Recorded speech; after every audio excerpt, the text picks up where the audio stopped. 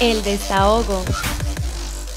El veterano cronista y editor deportivo del periódico El Día, Hugo López Morrobel, le entró a dos manos a los premios de la juventud que fueron entregados recientemente en su columna titulada Juventud, la echó fuera del cajón.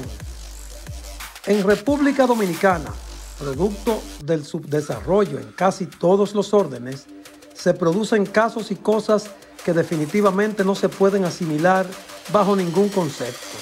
Porque ¿quién puede explicar con cierta lógica que tras una actuación sobresaliente, espectacular, como la lograda en el 2021 por la atleta Marilady Paulino, no fuera tomada en cuenta en los premios entregados esta semana por el Ministerio de la Juventud a los jóvenes dominicanos más sobresalientes en ese periodo. Habría que estar en la luna o totalmente desquiciado para no haber tomado en cuenta el trabajo nunca antes realizado por ningún atleta dominicano en las Olimpiadas Mundiales efectuadas en Japón con dos medallas de plata y en la Liga de Diamantes con dos medallas de oro y una plata. Quizá por ser una morenita, hija de Machepa, sin apellidos rimbombantes y sonoros, como definía el profesor Juan Bosch a los que vivían en la absoluta miseria, se produjo el desprecio garrafal al trabajo de esa joven humilde, nativa de Don Gregorio, Baní, a quien en sus comienzos en el deporte su madre tenía que pedir unos pesitos prestados para que pudiese trasladarse a Santo Domingo en una voladora a realizar sus prácticas, muchas veces sin nada o muy poca cosa en el estómago. Hay que recordar que a su casa, para que su familia viera las actuaciones en Japón, varias entidades, en un gesto que hay que aplaudir, le entregaron un televisor porque ni siquiera eso tenían. Marilady puso alegría e hizo sentir orgulloso hasta más no poder a millones de sus compatriotas con sus actuaciones en el 2021. Ignorarla fue una desconsideración, humillación, abuso y atropello, sin restar ni un ápice de mérito a los demás galardonados. Creo con toda sinceridad que desconocer sus aportes extraordinarios constituye un crimen, una vejación y una arbitrariedad que debe ser resarcido rápidamente.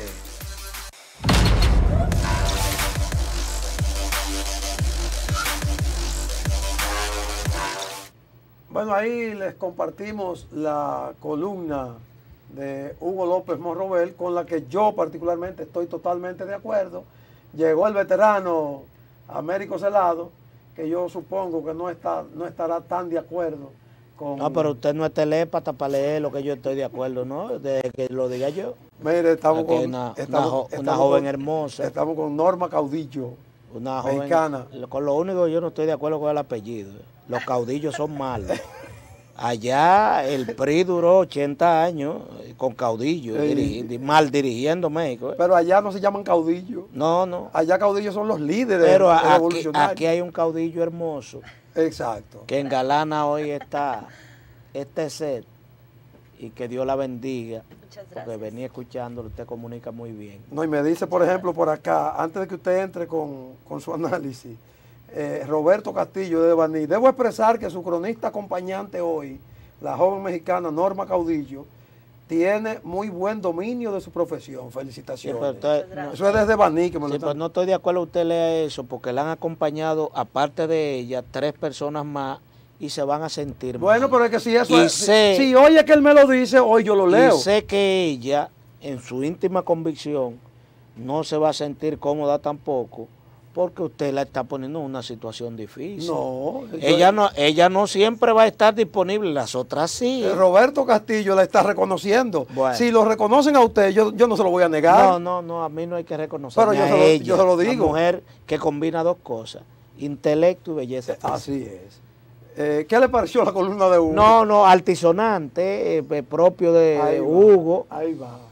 Eh, todos esos epítetos subidos de tono no cabían. Dame llamar a Hugo para que él oiga lo No cabía, no, porque usted, si usted quiere hacer un chisme, No, por si él no está viendo, usted lo trae aquí. Nosotros hacíamos los tres juntos un programa y nos matábamos. lo voy a invitar. O sea, entonces usted lo invita y yo me permite a mí en su cara decirle dos o tres vainas. Ahora durísimas. nosotros deberíamos hacer discusión deportiva. Espérese, está- de- usted está boicoteando mi comentario. Dele, dele. Está emocionado por la joven. Dele. Atención, doña, llame, está emocionado él. Y porque él de que ve una bonita, la esposa está viendo el programa. Mire, Marilady muy bien merece un premio de la juventud. Pero a Marilady le dieron todos los premios habidos y por haber en este país. El Congreso, Cámara de Diputados, Senado, ¿Y eso qué tiene que le ver con de dieron metálico.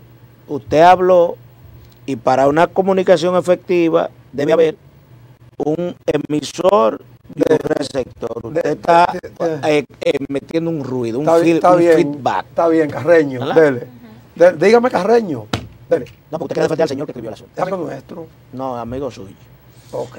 Eh, ella lo merece todo. Le dieron apartamentos, dos apartamentos. La, la mejoraron salario, la condecoraron en la Fuerza Armada, la condecoraron.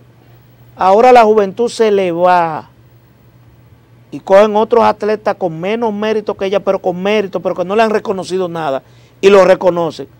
Y vamos a usar todos esos epítetos subido de tono para, para desbarrar contra la juventud. Por eso, cu- cuando con un parrafito se le podía decir, eh, lamen- lamento el olvido del Ministerio de la Juventud con Marilady Paul. No, ya. Y no se tiene que utilizar, desmeritar, porque ellos, ellos, ellos han hecho un esfuerzo por premiar. Ahí hay otros atletas de menor grado que ella. No podían dejar Ella a tiene- No podían dejar a No, ese, ese es, ese es el sonido No. de la sociedad de hoy. No es que no podían dejar a Lamen- Marilady. lamentablemente todos vivimos de like y de escándalo. No todos nos montamos en la misma ola. Pero es que no deben dejar a Marilady. Si van a, es que es un reconocimiento. usted- usted me permite decirle algo. Señor Celado. Me- usted me es un decirle reconocimiento a los, a los más destacados jóvenes ¿Me permite en el decirle algo? 2021. ¿Me permite decirle algo? Dígalo. La dejaron, entonces la dejaron. No debieron. Te digo que no, pues la No- no dejaron. debieron. Pero ya la dejaron. Ah, bueno. Entonces, Error no sé garrafal. por qué, periodista de 50 años, el señor Hugo López Morobel y usted que tiene 30 y pico dando saltos, No, Hugo tiene, Hugo- Hugo tiene como 60 en el periodismo. tiene 50. Ok. Cogen eso y los dimensionan. No, eso es un peso, es una línea. Para, eh, atención, señores del Ministerio de la Juventud, para que no vuelvan a repetirlo. Pero no agarrar y descalificarlo, decir que son, son unos, unos inservibles, que no tienen. ¿Cómo fue que usted me dijo fuera de récord? ¿Eh? ¿Cómo fue que usted me dijo fuera de récord? ¿Cómo fue que usted calificó a Hugo? ¿A quién? A Hugo. No, yo no he calificado a ningún Hugo. Ni le dijo viejo ni nada. ¿A quién? A Hugo. No he hablado con el, el señor Hugo, usted dijo que lo iba a llamar. Pero será porque se está poniendo viejo. No es un señor de 70 años, yo no sé cómo lo dicen en Mire, tu país.